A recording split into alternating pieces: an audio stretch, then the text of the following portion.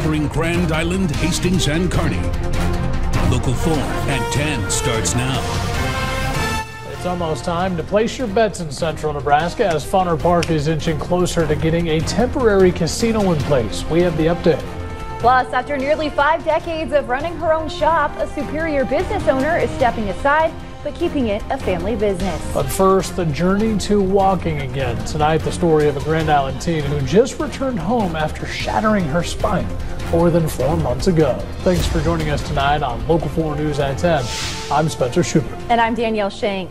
Well, a teenage girl is home tonight, four months after she had a traumatic spine injury. It's a story that spans from Omaha to Lincoln, and finally today, back to Grand Island, where family and friends all welcomed her back home with cheers and hugs.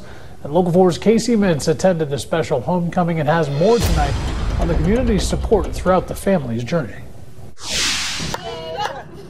To understand this